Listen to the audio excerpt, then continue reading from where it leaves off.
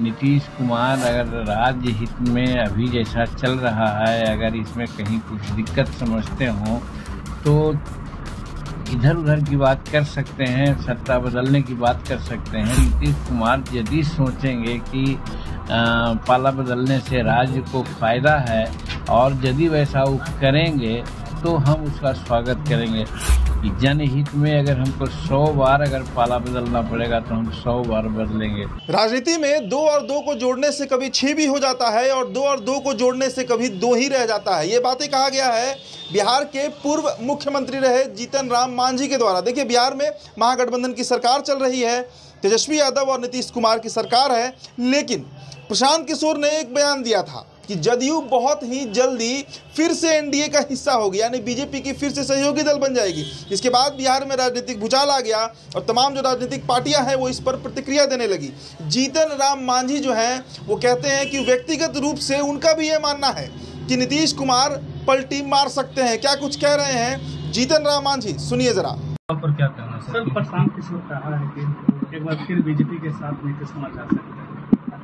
देखिए, उनका क्या कैलकुलेशन है, उनके बारे में हम नहीं कर सकते, लेकिन नीतीश कुमार जी ने तो कहा है कि भाई हम किसी भी सूरत में भाजपा के साथ नहीं जाएँगे। लेकिन हमारा व्यक्तिगत भी अपना मानना है कि राजनीति में कोई दो जोड़, दो चार होता है, वो नहीं होता है यहाँ। दो जोड़, दो छः भी हो सकता है और दो जोड़, दो दो भी हो सकता है।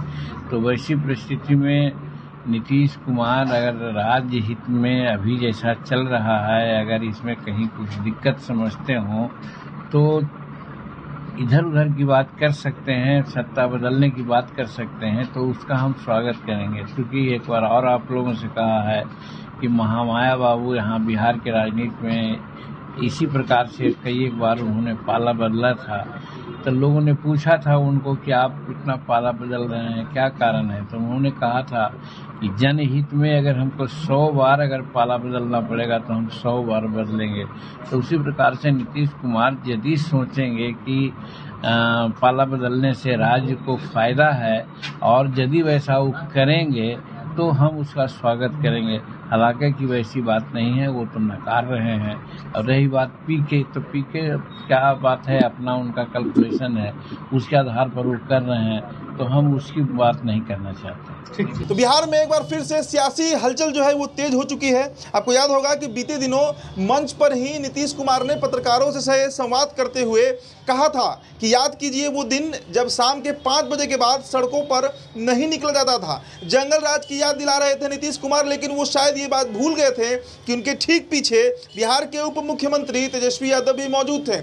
इसके अलावा कई तरह के प्रकरण हैं, जिसके चलते ये बातों पर अब चर्चाएँ तेज हो गई हैं कि बिहार में क्या फिर से सरकार पलटी होने वाली है? क्या बीजेपी का प्रेशर अब नीतीश कुमार नहीं बर्दाश्त कर पा रहे हैं? या फिर 2024 को लेकर नीतीश कुमार का कोई बड़ा प्लान है? ये तमाम बातों पर तमाम जो राजनीतिक पार्टियाँ हैं, वो प्रतिक्रिया दे रही हैं और इसी कड़ी में जीतन राम मांझी ने भी कह दिया कि अगर राज्य के हित में इस तरीके का कोई भी फैसला लेना हुआ तो उसमें नीतीश कुमार पीछे नहीं हटेंगे। आपकी जो प्रतिक्रिया है, हमारे कमेंट बॉक्स में ज़रूर दीजिएगा। मेरा नाम उदित तारन है।